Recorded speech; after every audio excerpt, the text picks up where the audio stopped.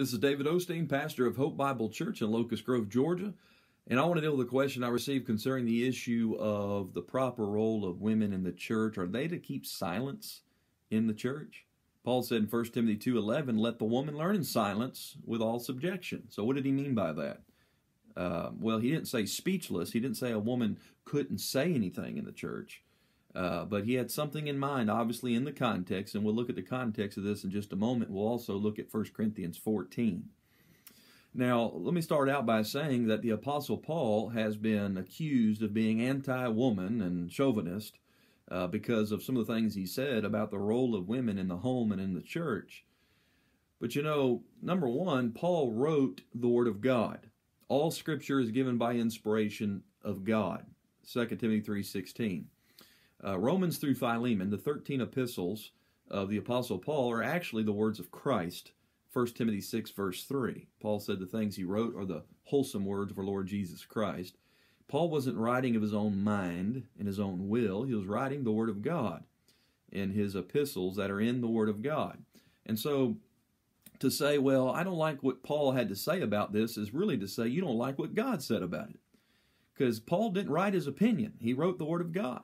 The Bible is our authority. Doesn't matter what we think or feel, what our opinion is, all that matters is what saith the Scripture. And then another thing is the carnal mind cannot understand the spiritual truth of the Word of God. Um, you come to an issue like this where Paul taught by inspiration of God that women are to be in submission to their husbands, how that the man is the head of the, the woman, and that women are to be um, silent in the church, these type of things, and the carnal mind gets all upset, and uh, because the carnal mind is self-centered and full of pride. But you need to understand that submission is a spiritual thing, and um, in the context of being filled with the Spirit in Ephesians five, Paul said, submitting ourselves one to another in the fear of God. And uh, so submission does not equate to inferiority. Uh, for an example, the Lord Jesus submitted to his Father's will, and yet he is co equal with the Father and with the Spirit in the Godhead.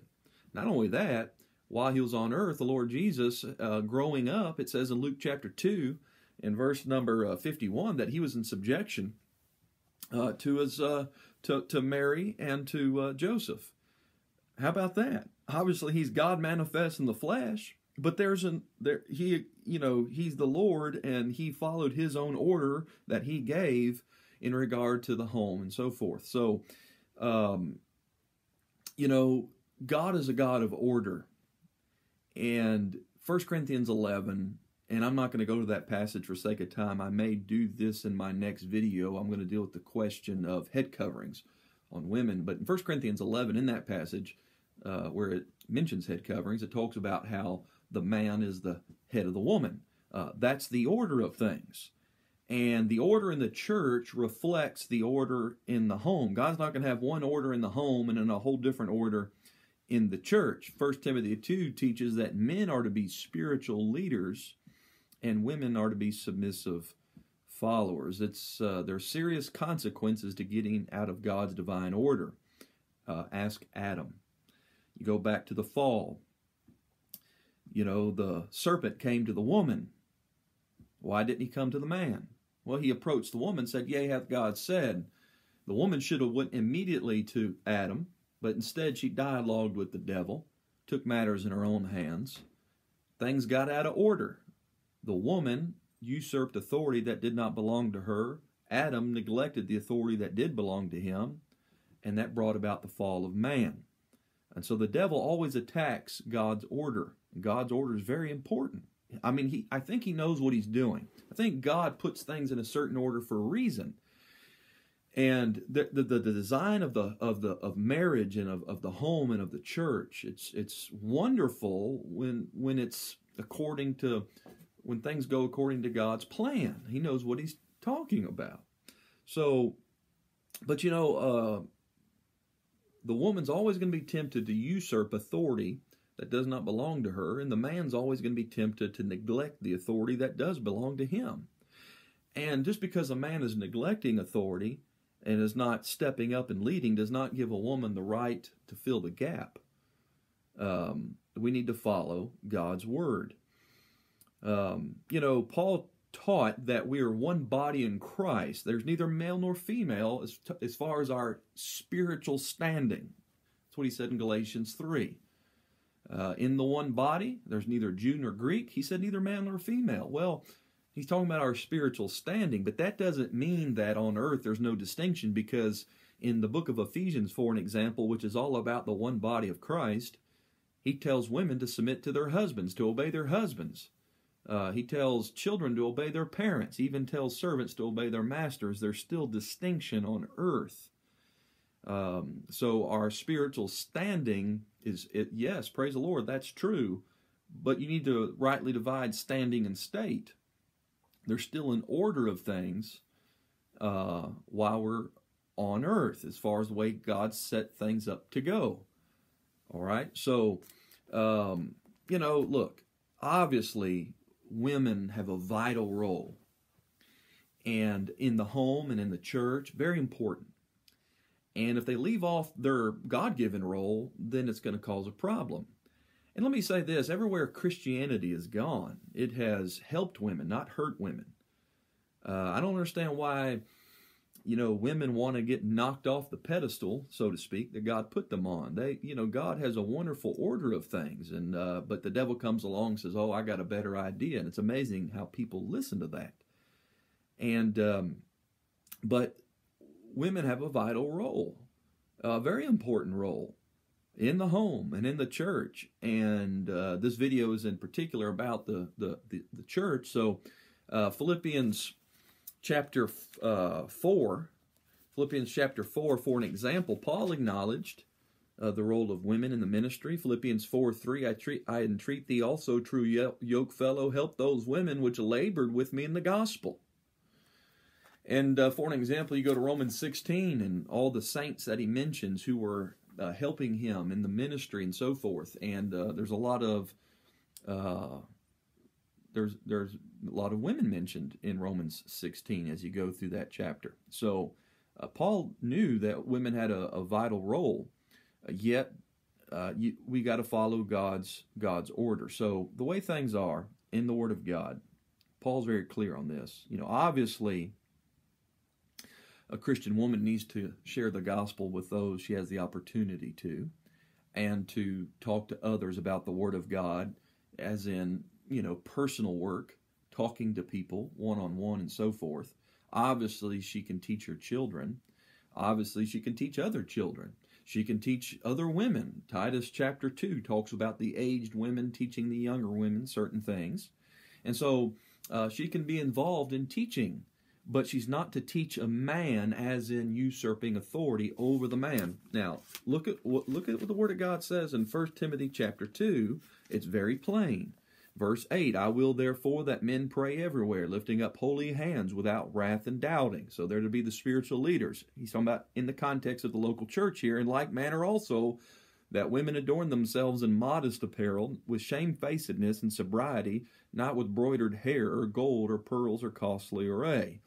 It's not saying she can't wear jewelry or whatever. It's saying she shouldn't be known for that. She should be known for her good works, verse 10. But which becometh women professing godliness with good works. In other words, she needs to, she needs to focus on adorning herself in godliness. Um, and he says, Let the woman learn in silence with all subjection, but I suffer not a woman to teach nor to usurp authority over the man. To usurp is to take what is not rightfully yours. And she, God did not give her authority over the man. He said, Don't do that, but to be in silence, for Adam was first formed in Eve. There's an order for a reason. And Adam was not deceived, but the woman being deceived was in the transgression. The way women are designed, they're more emotional uh, by nature, the way God set it up, and they're more prone to uh, deception. Now, men get deceived too, obviously, but the woman is the weaker vessel, Peter said by inspiration of God. And Adam was not deceived. He willfully disobeyed God, but the woman was deceived. And, um, and by the way, verse 15 about being saved in childbearing, I actually have a video on this in this Q&A series, a series where I, I deal with that verse. So that's not my point. I'm already running out of time here. So in the context of teaching men, uh, a woman is not to usurp that authority. She's not to be teaching men. That's what the Word of God says. Well, somebody says, I just don't feel like, I, it doesn't matter what you feel like. The Bible's the authority. And you know, there are preachers that they come to this question and they and they're they water it down and they're so apologetic, it seems. Look, the Bible's the Bible. It says what it says. I'm not going to apologize for it. It's what it says. 1 Corinthians 14, verse 34. Let your women keep silence in the churches, for it's not permitted unto them to speak, but they are commanded to be under obedience, as also saith the law. So there are applications of the moral principles on, in the law that still apply today. And if they will learn anything, let them ask their husbands at home. Yeah, good luck with that today. For it is a shame for a woman to speak in the church. What? Came the word of God out from you, or came it unto you only? If any man think himself to be a prophet or spiritual, let him acknowledge the things that write on you are the commandments of the Lord. If any man be ignorant, let him be ignorant. All right, now, Paul's writing the commandments of the Lord here. So here it says they can't even speak. But in the context, he's talking about speaking with an unknown tongue. And tongues have ceased, and I covered that in another video. But he gives rules when tongues were in use in the Acts period. A woman couldn't speak with tongues in the church. So he's not just talking about speaking in general, but speaking in tongues. Okay, so when it comes to those spiritual gifts, when it comes to teaching, in other words, leadership in the local church, that's not their role. A bishop, there's two offices in the local church bishop and deacon. Okay, look at the qualifications for both bishop and deacon. It says husband of one wife. Okay, there are no such thing, there's no such thing as a woman pastor or deacon. Okay, so there are no women preachers as far as uh, in leadership, as far as God is concerned. God did not. That's not God's will. Again, a woman uh, can teach her children. She can teach other children. She can teach other women. There's a there, there's a, a place for service there. She needs to be a faithful witness, share the gospel with others. All of that.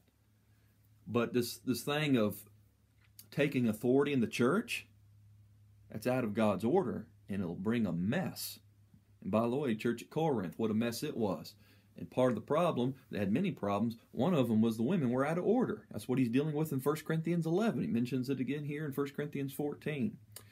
So the Bible says what it says. And I make no apology for it. I'm just telling you what the scripture says. You can believe it or not.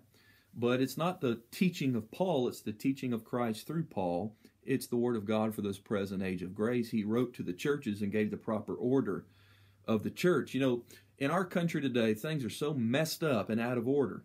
And and and and look what's going on. What a mess. I mean, if we'd follow the word of God, it'd be so much better in the home and in the church. And God lays things out the way he does for good reason. And we need to trust him and follow his word.